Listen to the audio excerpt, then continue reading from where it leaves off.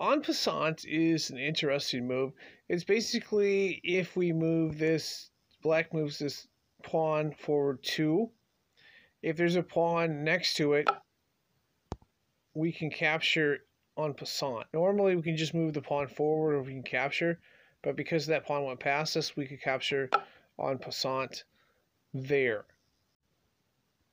Pawn promotion is another concept in chess.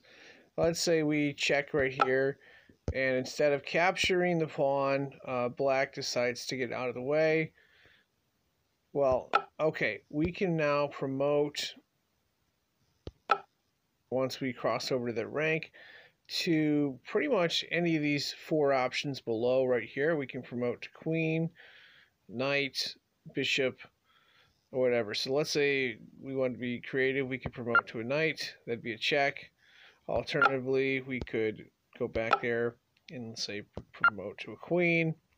Uh, but once the pawn crosses the line, we can promote to any one of those uh, four options. We can also promote, in this case, to a bishop, or alternatively, we could promote to a rook. One special move in chess involves castling, where we basically take our king and move it over two pieces, and that allows the rook to go. That's a special move. Now, we cannot castle if our opponent has pressure. So let's say we move uh, this piece, the computer moves here, we move this out here. Now, the bishop is eyeballing this right here. So in this spot right here,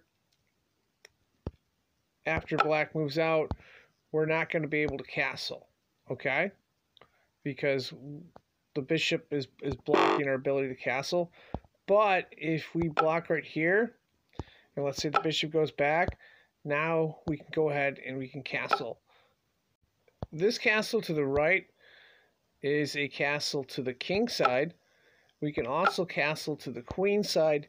Now, the key thing is we cannot move the king or the rooks. If we move the rook or the king or a piece is blocking, we can't castle.